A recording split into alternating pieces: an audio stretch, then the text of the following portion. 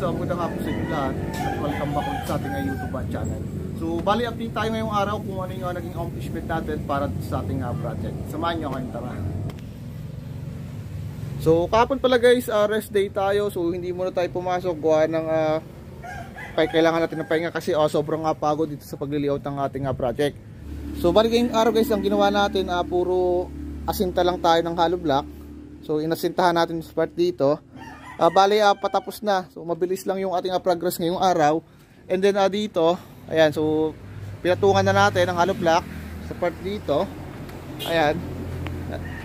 Bali, ganyan lang guys yung ating uh, patong. So, by tomorrow guys, at uh, continuous pa rin tayo ng pag-asinta para matapos na natin to. And then, uh, nagpabili na rin tayo ng mga materyales para sa layout ng ating uh, electrical.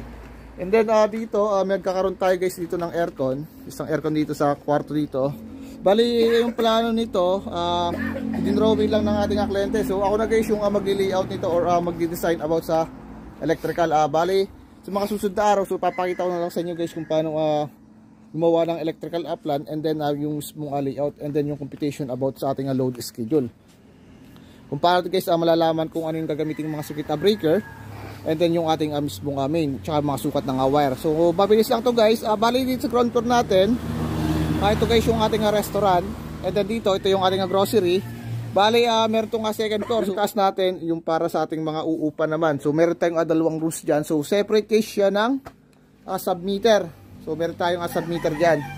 And then, uh, isa pa ron. So, since na ano to, uh, restaurant. So, mag-install din tayo guys dito ng MTS. So, magmamanual at uh, transfer switch tayo para doon sa ating uh, generator. Kasi, pag restaurant, kailangan na uh, meron tayo itong uh, generator gawa ng yung uh, produkto ng ating kliyente isa baka masira. So, papakita ko guys sa inyo uh, step by step kung paano mag-install ng MTS. So, yun lang guys, so in-update ko lang kayo kung ano yung naging accomplishment natin para ngayong araw. Sa mga di ko pala sana subscribe, sana guys support ang channel ko. Click notification bell para lang din sa aking uh, bagong video. Hanggang dito na lang muna and see you in my next vlog. Thank you.